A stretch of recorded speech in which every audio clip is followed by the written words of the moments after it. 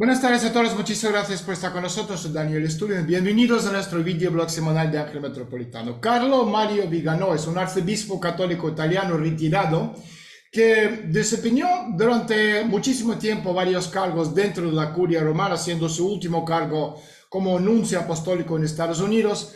Él consiguió una entrevista para Media Press Info el 24 de agosto del año 2023. El tema principal el nuevo orden mundial satánico y la esclavización de la iglesia. En nuestro videoblog de hoy, de Ángel Metropolitano, me gustaría repasar algunas tesis principales de su entrevista. Tesis número uno.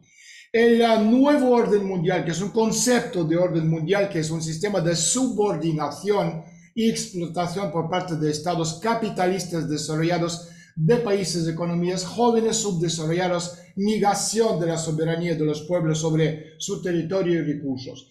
Este concepto está estrechamente relacionado con la idea de mundialismo radical basado en la integración, la unificación y la globalización. Y el neoliberalismo se convierte en ideología. El objetivo es construir una civilización mundial única, liberal, planetaria para el llamado gobierno mundial, cuyos representantes, obviamente, de los países más ricos del mundo serán encargados de convertir planeta Tierra en planeta prisión. Punto número dos.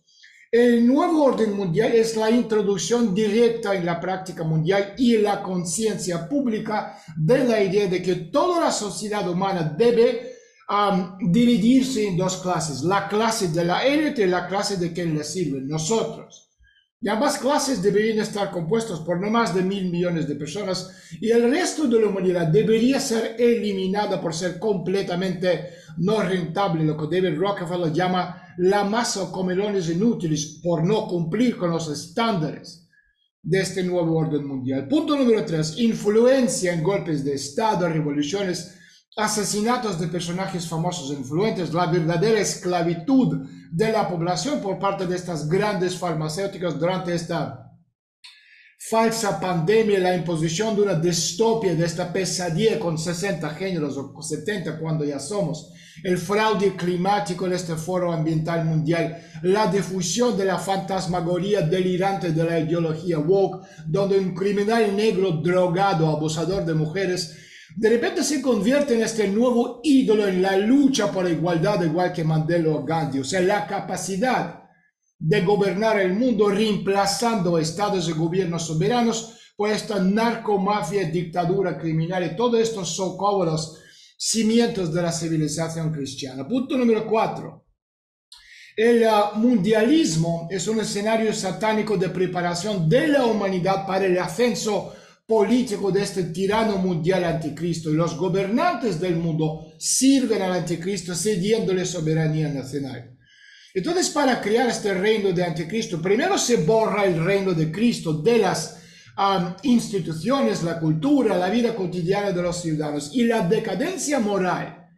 Es una de las formas más fáciles de subyugar a las masas, animándoles a este vicio, ridiculizando la virtud, destruyendo la familia, como esta unidad fundamental de la sociedad y fomentando la industria de esta maternidad subrogada, el divorcio, el aborto, la eutanasia, la homosexualidad, el pansexualismo, la mutilación por cambio de género, han demostrado ser herramientas eficaces para erradicar no solo la fe cristiana, sino también los principios más sagrados de las normas generales. Y esta ideología woke es una religión con objetivos diametralmente opuestos a los cristianos que pretenden imponer a la sociedad impregnando con sus dogmas las instituciones, las leyes, la educación, la cultura, el arte y la actividad humana.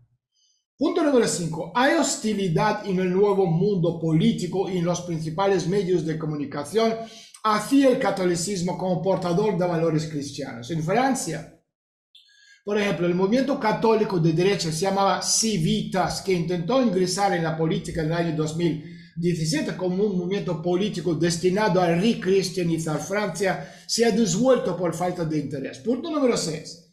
Sobre todo, uh, la hostilidad hacia la Iglesia Católica Cristiana tradicional es visible entre representantes de la Iglesia de este Papa Francisco desde hace 70 años. La Iglesia conciliar continúa su labor de destrucción de la Iglesia Católica, subvirtiendo de la moral, corrompiendo la liturgia, borrando la espiritualidad y castrando el celo apostólico y imbotando la acción social.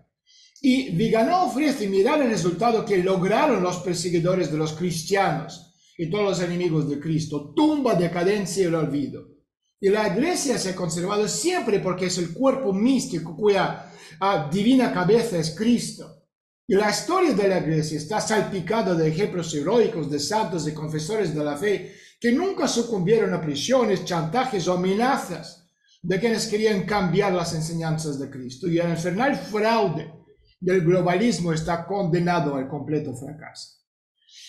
Entonces, fíjense que en las décadas anteriores se mantuvo en la población mundial este permanente estado de inestabilidad a través de estos continuos debates económicos, decretos de comercios transnacionales que vaciaron las arcas nacionales y anularon el derecho a la autodeterminación de los países.